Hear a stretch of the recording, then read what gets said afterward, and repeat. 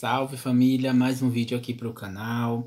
Hoje eu trago aqui repolho com linguiça da sadia, refogada, arroz e feijão. Um pratinho pequeno. Pequeno? Não é pequeno não. É, hoje eu andei bastante é, e aí me deu vontade de comer essa comidinha. Queria também agradecer a, a vocês pelo carinho que vocês tiveram pela minha mãe, pelo Adilson. É, minha mãe tá um pouquinho tímida, viu? Mas quando eu gravar com ela, vou... não vai ter timidez, não, porque eu já sei que ela se solta mais. Porque meu irmão tava lá, ela gravou só com meu irmão. E... Mas ela não é tímida assim, não, viu? Eu era tímido no início, mas minha mãe não é tímida. Vocês viram lá no vídeo do quintal como ela é, é alegrezinha. Ela não é tímida, é porque ela, ela tava nervosa. porque eu não podia entrar lá por causa. Não, não tomei a segunda dose ainda. Mas minha mãe não é tímida daquele jeito, não. É, aquele molho de pimenta ali é uma delícia. Eu passei, eu, ela fez, eu fui lá na casa do Adilson e esqueci de pegar um pouco para mim. Mas eu, quando eu for lá, eu pego. E queria agradecer a Deus também por esse alimento, agradecer a Deus por tudo que Ele tem feito em nossas vidas. E hoje também eu não vou mandar salve porque foi um vídeo rápido, não deu tempo de escrever. Porque, gente, para escrever o nome da, das pessoas é uma maratona que eu tenho que ver nos vídeos velhos, tudo, os antigos, para poder ir tirando, para não ficar ninguém para trás. E mesmo assim fica um monte de gente é, reclamando. Até quando eu vou ficar com, com isso na garganta? Faltou um fone, né?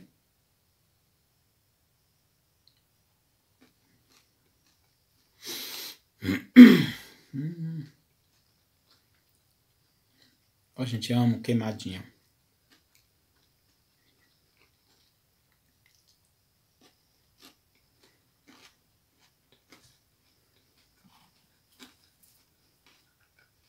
Deus.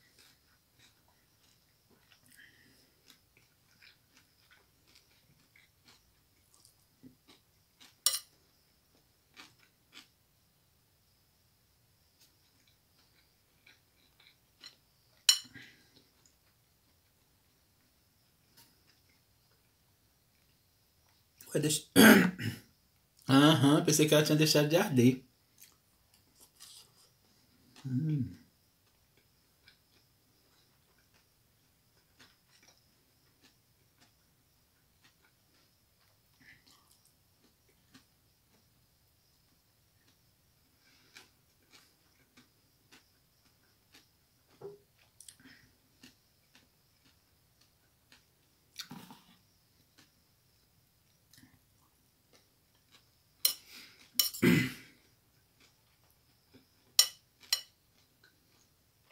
Gente, hoje eu vou contar uma história.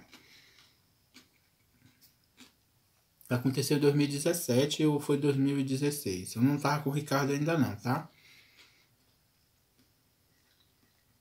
É... Eu moro com o Ricardo desde 2019 e conheci em 2017, mas não morava com ele ainda não.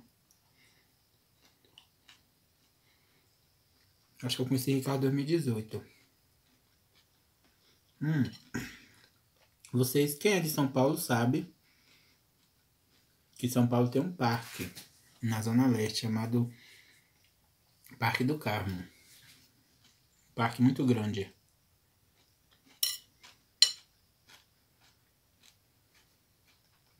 Hum. E lá, gente, tem uma área proibida, né? Muito proibida. Ou a geladeira que quer fazer barulho uma hora dessa. Ai, gente, lá tem uma área muito proibida, proibidíssima. Né? Não precisa entrar em detalhes. Aí. Morava no Itaim. No Itaim Paulista. Aí quando eu pegava o ônibus pra ir pra lá, eu já ia nervoso já, né? Sempre que o celular fica assim tremendo. Eu ia na alegria, porque eu sabia que eu ia aprontar, né? Lá. Gente, quando eu falo aprontar, vocês sabem o que, é que eu tô querendo dizer, né? Para não ficar entrando em detalhes. Aí, lá, fechava 8 horas. Ó, como tá tremendo o celular. Os portões fechavam 8 horas. Ó, gente, se a imagem ficar trêmula, mas minha voz tá saindo normal, que eu já percebi já. Aí fechava 8 horas, né? Tudo bem. Mas lá na frente, onde fica os banheiros, fechava às 6 horas. Eu não lembro não, sei que era bem cedo mesmo. Aí quando foi um dia eu tinha aprontado bastante mesmo, cara, lá em cima, onde é proibido. Aprontado todas.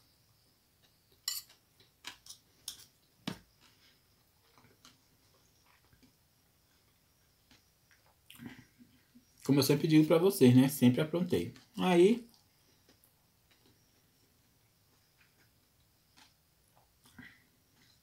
Eu tinha um celularzinho J5 que eu usava meu WhatsApp.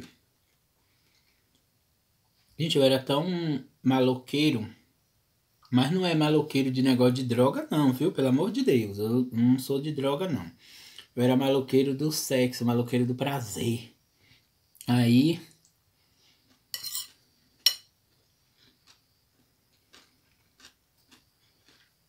Eu já estava exausto, já cansado, suado. Era até uma tarde de trovoada. Eu já tinha aprontado todas lá em cima. Meu Deus, perdoa. Eu tô contando isso. Aí terminou tudo, eu, eu fui no banheiro. Não para usar o banheiro, já para dar em cima mesmo das pessoas lá dentro. Hum. Eu sei que um monte de gente acha ruim que eu falo essas coisas, meu povo. Mas é verdade. Quem de vocês que nunca fizeram nada, né? Estou falando dos adultos, criancinha não. Então, eu fui, né? E aí, eu fechei a tampa do vaso, fechei é, e sentei em cima com o celular na mão. Pra ver se esperava algum sapo ou algum príncipe encantado chegar lá. E acabou que eu cochilei. Cochilei mesmo com fone no ouvido, né? Olhando o vídeo, é, ou foi Face, alguma coisa assim. Sei que eu tava, eu cochilei. Minha irmã, quando eu acordei, já tava tudo escuro.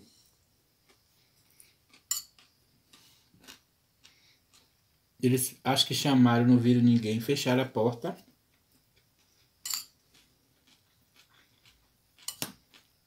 Eu fiquei preso lá dentro do banheiro.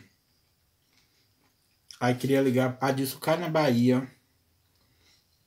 Eu desesperado tentando ligar pra Dilson e a Dilson é, estar trabalhando. E nada desse celular chamar e eu batendo na porta. Eu saí da, da cabine do banheiro e fui pra porta principal e nada de ninguém abrir. Bati, bati.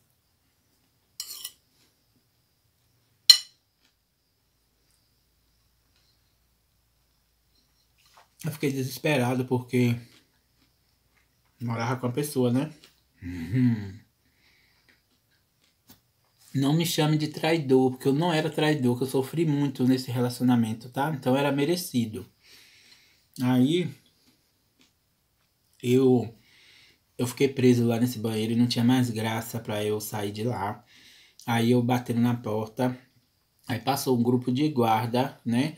Que acho que estava se organizando para subir para fechar as portas lá. Passou até um de moto, encarado. Aí abriu. Aí eu. Desculpa, eu dormi aqui, todo sem graça. Aí ele fechou a cara. Aí mandou sair. Aí abriu o portão, saí fora, sem graça mesmo. E ainda teve a outra vez que eu falei para vocês que eu fui para lá pra safadeza lá em cima. Aí deu a hora de fechar. Aí eu continuei lá, abalando. Aí quando terminou tudo, que não tinha mais nada para fazer lá, eu já contei isso aqui já. Aí os portões se fecharam. Eu não vi que eu tava empolgadinho lá para dentro da moita. Os magrinhos pularam os muros, tudo, e o gordinho ficou para trás, que não podia pular, que se pular você cai igual uma jaca lá no chão. Aí, minha gente, eu sei que eu, eu desci essa ladeira andando até chegar lá embaixo com um monte de cachorro. Não sei de onde é aqueles cachorros que ficam ali dentro. Não sei onde é, da onde tanto cachorro que fica ali dentro. Acho que os vigia da comida. Eu com medo, pensando, lembrando assim, passei cada, cada estrada escura e as estradas, parecendo aquelas estradas de cemitério, do calçada. Pimenta é braba, viu? Maria. Eu com medo descendo essa ladeira para chegar lá na, na porta principal. Eu jurando, abafando que a porta estava aberta. Onde as madame faz Cooper. Hum. Eu lembrei de mulher de branco, eu lembrei de mula sem cabeça, eu lembrei de tanta coisa, os cachorros atrás, eu suado. Tinha que chegar em casa na hora, aí não dá o que falar.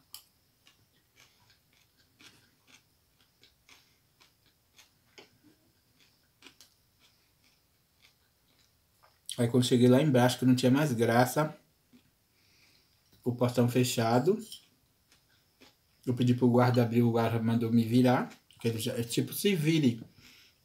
Ele sabia muito bem o que eu tava fazendo ali, né? Aí, gente, eu peguei, andei assim pela, pelo canteiro e vi um buraco lá e saí. E não é só eu que passo por isso, não. Muitos passam, viu? Hum.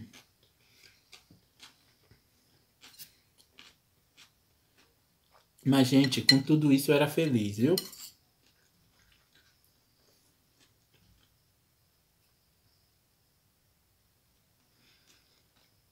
Eu sofria em casa, era humilhado. Mas eu também me divertia bastante fora, viu?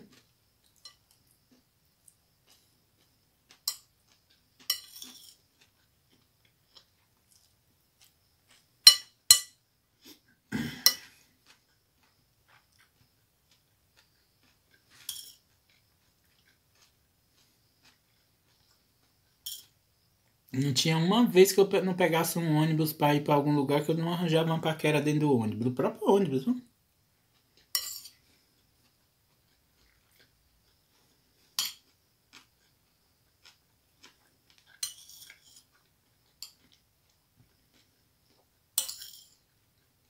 Mas não sinto falta não. Meu sossego aqui é ótimo.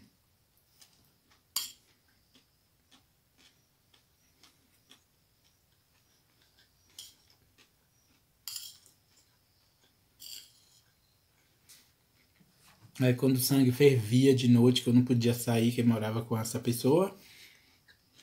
Não é Ricardo não, tá? Aí não podia sair para lugar nenhum, tinha que ficar.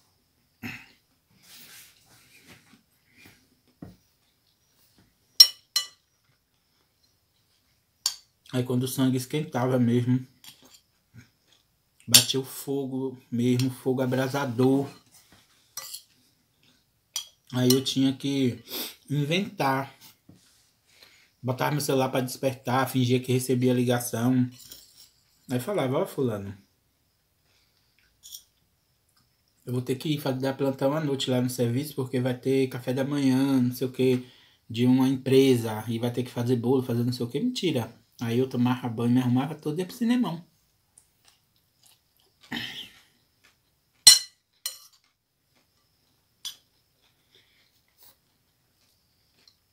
do cinema eu emendava e ia pro serviço. Chegava em casa assim seis horas ou sete horas cansado.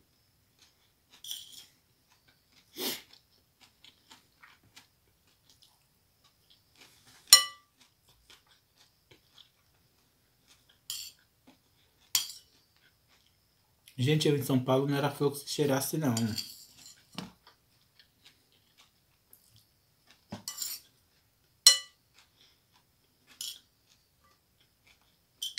Hum.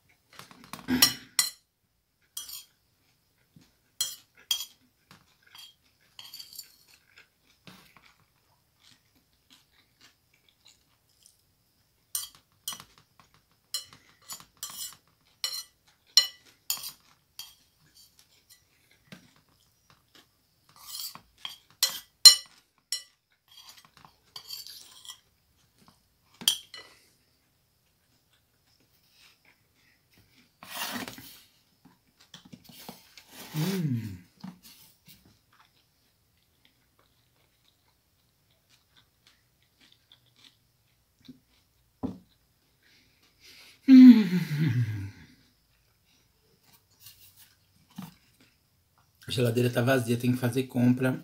Não temos fruta. Só tinha esse pedacinho de repolho que eu refoguei hoje. Ricardo não gosta de repolho, não. Tem linguiça, tem ovo, tem salsicha, tem um pedaço de peito de frango, mas não tem verdura nem legumes nenhum. Um dia que receber dinheiro comprar verdura, porque não dá. Eu acostumei já a comer quiabo, abobrinha, repolho, chupar laranja. Laranja é ótima, mas até laranja o povo diz que engorda, aí fica difícil, né? Beijo, meu povo. Deus abençoe vocês.